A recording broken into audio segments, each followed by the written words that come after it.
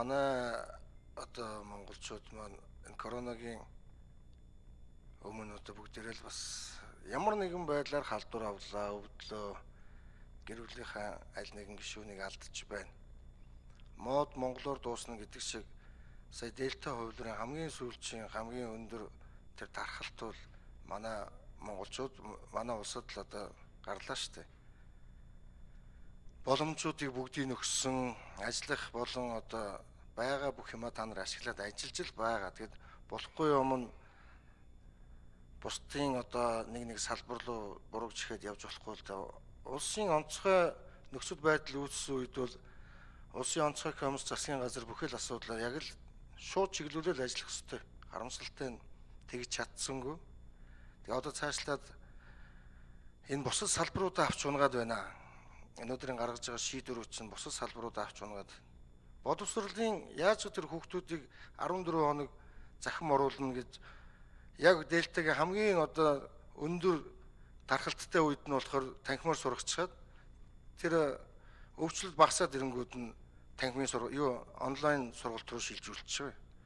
Энд ч одоо юу гэсэн үг. Чинь эрүүл хүмүүс ойлгохооргүй шийдвэрүүд гаргаад байна шүү дээ.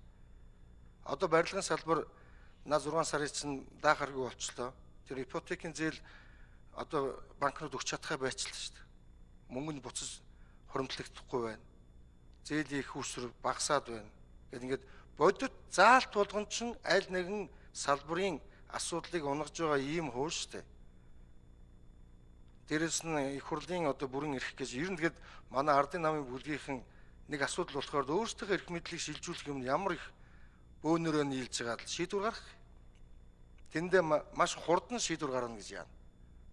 Энд чинь одоо улсын их хурл энэ парламентын засаглалтай Монгол улсын хувьд та бүхэн маань өөрсдийнхөө тэр эрхийг эдэлж тэр тойргийн сонгосон хүмүүсийнхээ эрхийг бас хамгаалж ингэж л ажилламаар байх юм. Тэгэд өөрсдийнхээ эрхийг хэн нэгэнд өгчөөд нэг конопчин хэдэн гişүүл болоод байна шүү дээ бид нар чи. Тэр коноп дарах асуудал дээр бүүнөрөө цуглаж байгаа дарддаг. Өдөрт бараг дэлхийн рекордыг эвдсэн шүү дээ. Хэдүүлээ нөгөө хууль баталсан байлаа ш та нар.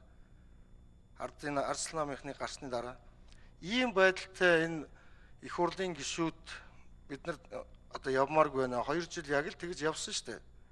Сүүлдээ гишүүн босноо ч одоо нөгөө бүрэн эрхийнх нь асуудлууд нь байхгүй болчихоор өөрсдийгөө ойлгохоо байсан ийм л байдалтай явлаа. Тэгэд энийг ингэж цааш нь үргэлж үргэлжлүүлмээргүй байна гэдгийг хэлье.